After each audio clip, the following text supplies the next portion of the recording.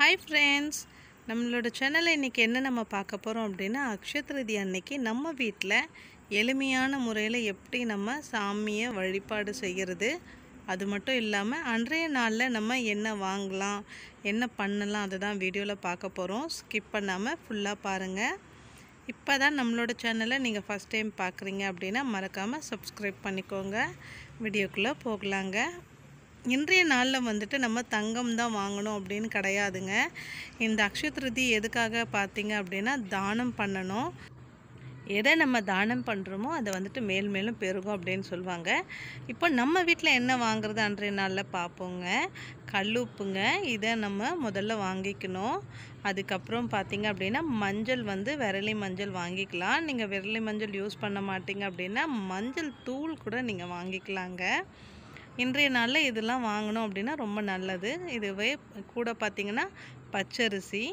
பச்சரிசி இது மூணுத்தையும் வந்துட்டு நம்ம பூஜை அறையில் நம்ம வச்சு சாமி கும்பிடலாம். கூடவே பழங்கள் வேணும் அப்படின்னா நீங்கள் ஏதாவது ஒரு பழம் இல்லைன்னா எல்லா பழமும் கூட உங்களால் முடிஞ்சது நீங்கள் வாங்கி வைக்கலாம். அதுக்கப்புறம் பச்சரிசியை வாழலை இல்லைன்னா ஒரு தட்டில் நல்லா இந்த மாதிரி பரப்பி வச்சுக்கோங்க. அதே மாதிரி உப்பையும் பரப்பி வச்சுக்கோங்க. ஒரு தட்டு இல்லைன்னா இலை யூஸ் பண்ணிக்கோங்க. அதில் வந்துட்டு பிள்ளையார் சுழி முதற்கண் கடவுள் இல்லையா? அதனால் பிள்ளையார் சுழி அப்படி இல்லைன்னா ஓம் இந்த மாதிரி வந்துட்டு சிம்பிள் வந்து நம்ம அதில் எழுதி அன்னைக்கு வந்து சாமி கும்பிடலாம். தங்கம் தான் வாங்கணும் அப்படின்னு கிடையாதுங்க.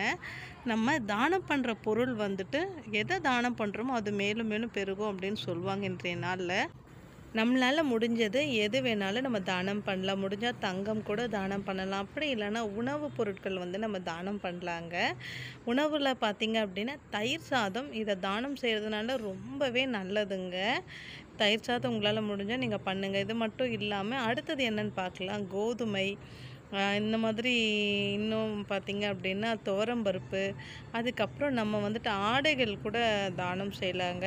இதில் எது வேணாலும் நீங்கள் பண்ணலாம் எல்லாமே முடிஞ்சாலும் நீங்கள் வந்து பண்ணலாம். இதெல்லாம் பண்ணுறதுனால அன்றைய நாளில் நமக்கு இது மேலும் மேலும் வந்து சேரும் அப்படின்னு சொல்லுவாங்க. அதுக்கப்புறம் அவள் வந்து இன்றைய நாளில் ரொம்ப விசேஷம்.